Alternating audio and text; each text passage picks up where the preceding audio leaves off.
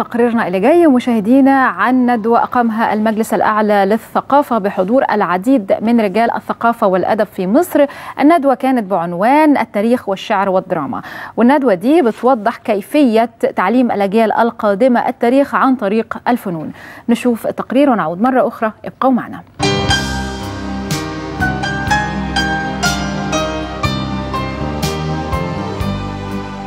للتعرف على العلاقة بين التاريخ والأدب عبر العصور نظم المجلس الأعلى للثقافة ندوة بعنوان التاريخ والشعر والدراما بحضور عدد من رجال الفكر والثقافة في مصر.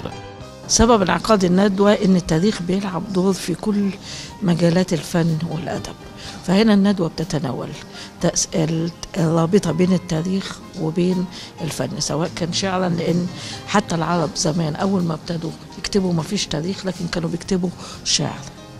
فبيكتبوا فالشعر كان تاريخ العرب.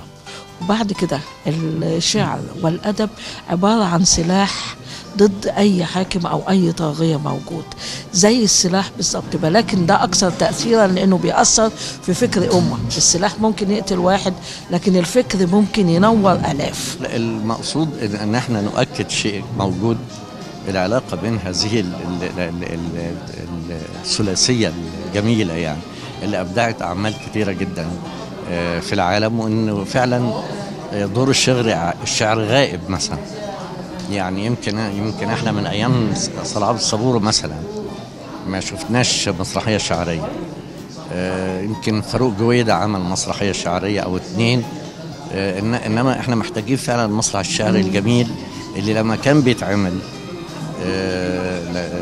في أواخره يعني من 15 20 سنة كان في ناس بتيجي من العالم العربي عشان تحضر العرض وترجع تاني.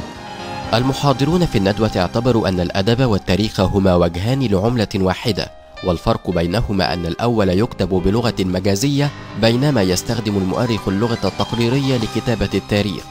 التاريخ هو امتداد وجودنا في الماضي وهذا الامتداد آه له حياته. وله وجوده وحضوره في نفوسنا لأننا لا نستطيع أن نكون ما نحن عليه الآن إلا إذا تمثلنا التاريخ واستفدنا منه واستخلصنا عبره ودروسه التي نستطيع بها أن نتقدم إلى الأمام. الندوة تأتي في إطار الأنشطة والفعاليات الثقافية التي يقوم بها المجلس الأعلى للثقافة للنهوض بمستوى الفكر والارتقاء بالثقافة المصرية. أحمد مصطفى قناة دريم